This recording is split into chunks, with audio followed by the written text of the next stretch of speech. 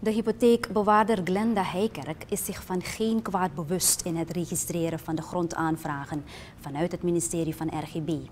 In de samenleving is er heisa ontstaan over de uitgifte van gronden in de cultuurtuin.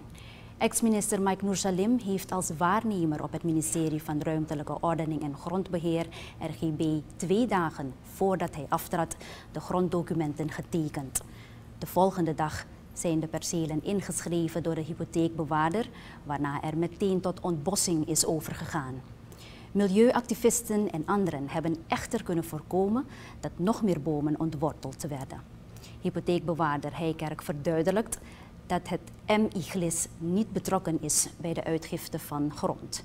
We zijn er alleen maar voor de registratie en handelen volgens de wettelijke regelingen, benadrukt ze. Vanuit de rol van de hypotheekbewaarder geeft Heijkerk aan dat zij belast is met onder andere de bewaring van de openbare registers en het verrichten van overschrijvingen en inschrijvingen. Het MIGLIS die is dus eigenlijk hier deze alleen voor de registratie. Het moment iemand een stuk aanbiedt, dan zijn de persoon zelf die de beschikking heeft opgehaald bij het ministerie. Of als het vanuit het ministerie, vaak genoeg dus hulpbeschikkingen, die wij hier ontvangen en worden aangeboden, worden die dan ook op dezelfde dag geregistreerd. Dat wil zeggen de dag van inbewaringneming geldt dus als de dag van overschrijving. Maar dat betekent niet dat iemand op die dag dus een uittreksel kan komen halen. Het is een ketenproces. Het gaat dus dan verder voor de verwerking. Het moet nog van een straatregister worden voorzien. Het moet nog in een klapper worden opgenomen, et cetera.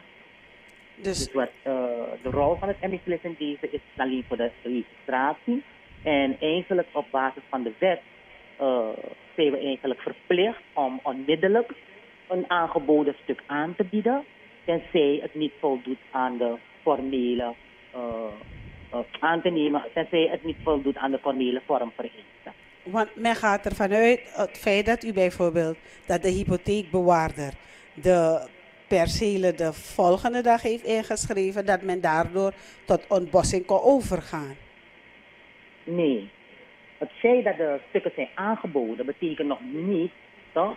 In een je aan bulk gezien, weet men nog niet van, oh ja, ik heb de beschikking al in handen. Want het moet nog verwerkt worden.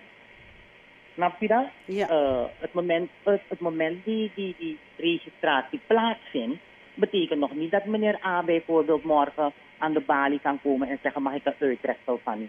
Nee, het recht ontstaat natuurlijk op het moment van overschrijving. Maar het bewijs van overschrijving hebben de mensen nog niet gehad, omdat we bezig zijn met het verwerkingsproces. Dus eigenlijk mocht die ontbossing nog niet geschieden als ik zo naar u luister. Ik heb niet de bevoegdheid om te zeggen of het wel of niet ja, mocht, maar ja, ik kan alleen maar vanuit het MICLIS zeggen dat de mensen de beschikking nog niet in handen hebben. Het wordt aangeboden en hier vindt de registratie plaats. De dag van aanbieding geldt als dag van neming en tenminste, als ik het zo mag uitleggen, de dag van overschrijving. Maar uh, de beschikking al hebben uitgegeven, dat is nog niet gebeurd. Intussen heeft de familie tegenover de ware tijd aangegeven niet op de hoogte te zijn geweest dat het om de cultuurtuin ging. Heijkerk zegt dat dit kan.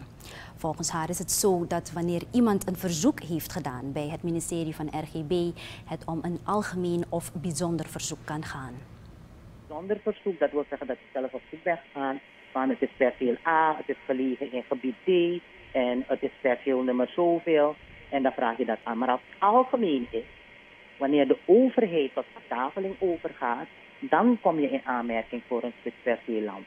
Maar dat betekent niet dat je dan van tevoren al op de hoogte bent uh, in welk gebied uh, je dan zo'n perceelland toegewezen krijgt. Gewoon verplicht om uh, de aangeboden stukken in gevolge de wet onmiddellijk over te schrijven. Zoals ik al eerder zei, als er niet voldaan is aan de vereisten, dan worden de stukken teruggezonden. En in dit geval kan ik u dus ook garanderen dat er enkele stukken die niet voldoen aan de vormvereisten of er zijn textuele fouten, worden die teruggestuurd. En uh, natuurlijk zijn we, ben ik als bewaarder leidelijk, maar uh, die leidelijk gaat niet zo ver dat wanneer er dingen gebeuren dat je dat niet kan duidelijk maken. Dus er is ook wel in statu een brief gestuurd naar het ministerie waarbij wij vragen als er wel sprake is van een stuk ter beschikkingstelling aan een bepaald ministerie ten aanzien van dit gebied, omdat dit gebied gewoon bekend staat als beschermd gebied. Oké. Dus het, het, is niet zo dat u als hypotheekbewaarder kan zeggen, luister, het gaat hier om de cultuurtuin, dus uh, beschermd gebied. Dus ik uh, stuur die stukken terug eigenlijk. Nee, dat kunnen wij niet doen. We zijn verplicht om het in te schrijven, zoals ik al eerder zei. Tenzij het niet voldoet aan de vereisten. In casu bij ons onderzoek is gebleken dat het gaat om vrijdomein. En het enige wat wij dus aan het ministerie vragen, of tenminste het ministerie erop attent maken, om na te gaan als er sprake is van een ter beschikkingstelling aan een bepaalde ministerie.